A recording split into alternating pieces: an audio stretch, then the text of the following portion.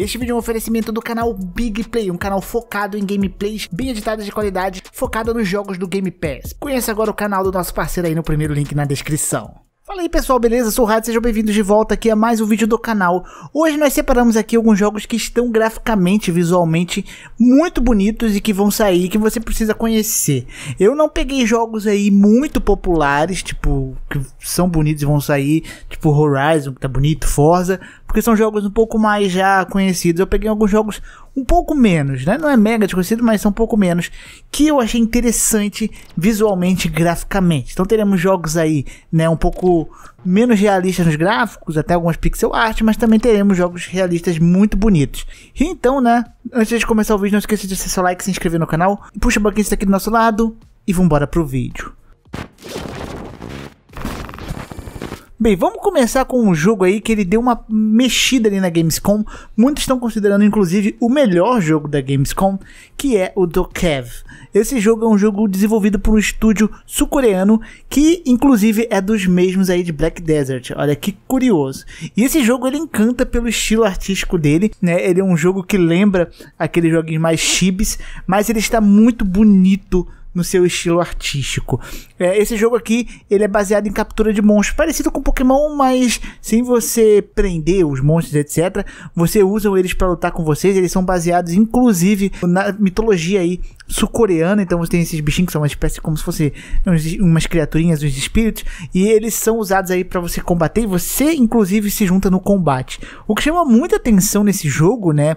é simplesmente as coisas que tem para fazer. Ele parece ser um jogo com muita coisa para fazer. Ele tem um bom foco em co-op. Ele tinha sido anunciado inicialmente como MMO, só que eles mudaram o rumo do jogo aí para ser um jogo aí mais cooperativo mesmo de aventura. E, cara, é interessante como você tem muita coisinha para fazer no jogo, vários meios de locomoções, tem carrinho, skate. Você usa inclusive um guarda-chuva para você ir planando pelos cenários, o que é uma coisa extremamente bonita de se ver. O jogo parece ter uma cidade bem viva com bastante bastante ali minigames e coisas para explorar, o que me chamou muito a atenção. É um jogo definitivamente muito bonito, brilha os olhos da galera simplesmente por causa dos gráficos ali, cenários e a cidade, além de todas as mecânicas que ele aparenta ter. Vale mencionar que ele ainda não tem data de lançamento ainda para quando vai sair, a princípio 2022, mas nada 100%.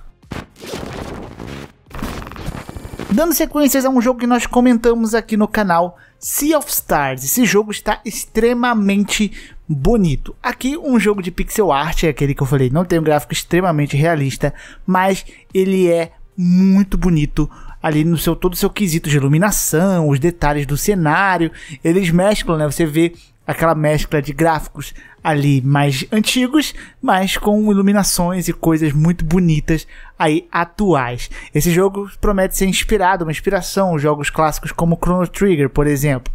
Aqui ele possui um combate até um pouco diferenciado, onde você tem que seguir certos padrões para você atacar, porém ainda por turnos, mas não parece nada muito durão ou muito ali chato. Mas enfim, é um jogo muito bonito pelo seu estilo artístico, as águas, a qualidade ali das sprites do jogo, tudo realmente parece muito bonito e vívido e se promete aí ser um jogo indie muito aí interessante, pelo menos visualmente. Outro jogo que, quando ele foi mostrado, a gente falou dele aqui, muita gente falou dele, só que ele já foi esquecido. E quando eu mostro esse jogo às vezes, assim, muita galera pergunta, mano, que jogo é esse? Que jogo bonito, velho. Que é o Project Awakening. Esse jogo ele simplesmente chamou a atenção porque vocês estão vendo aí, o combate dele era bem ali é, levezinho, né? Aquele combate bem ali, bem feito, smooth pra caramba, né? Desenvolvido pela Sai Games, esse jogo. Ele prometia ali uma aventura RPG medieval de mundo aberto, mesclando o que parece um tanto de Monster Hunter ali, com esses monstros bem gigantes, um combate mais tático, né, com esquiva, etc. Graficamente, esse jogo também chamou muita atenção, junto com a sua movimentação realista, obviamente. E é um jogo que já foi mostrado há um tempão, né? Tempão assim.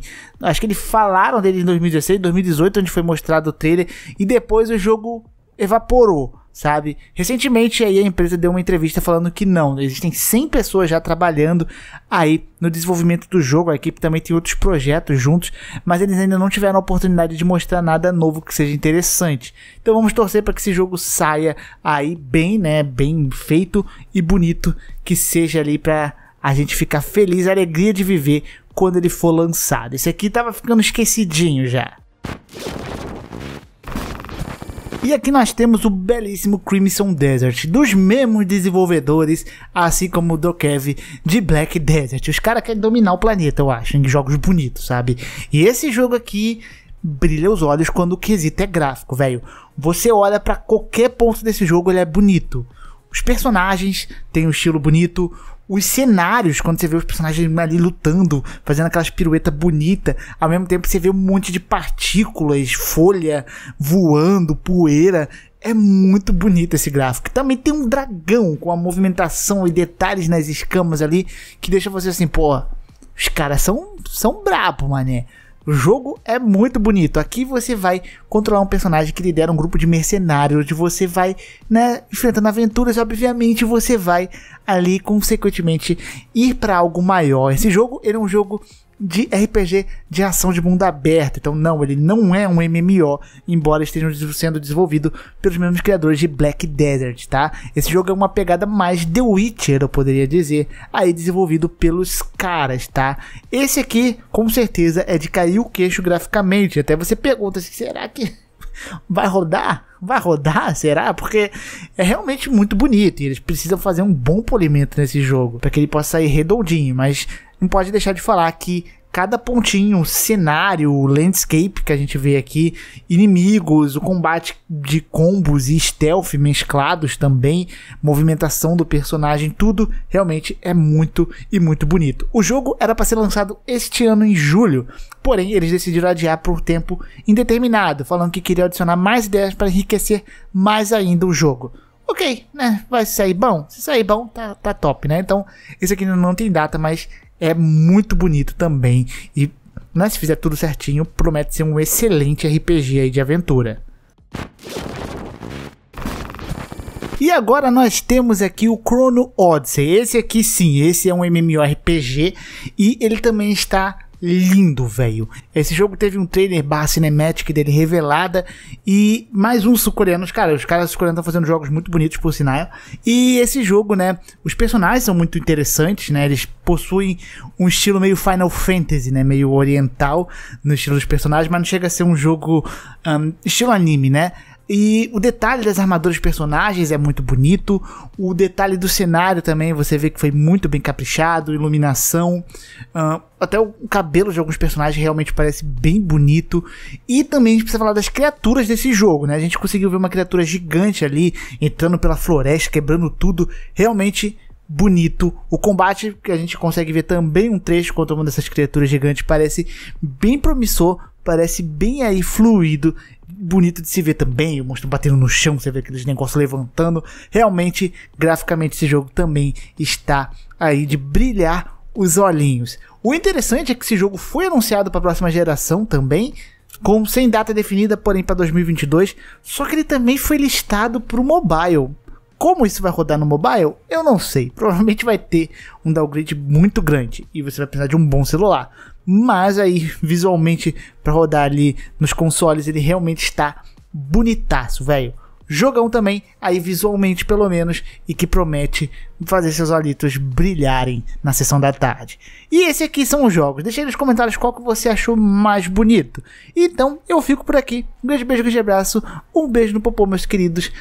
É nóis. E fui!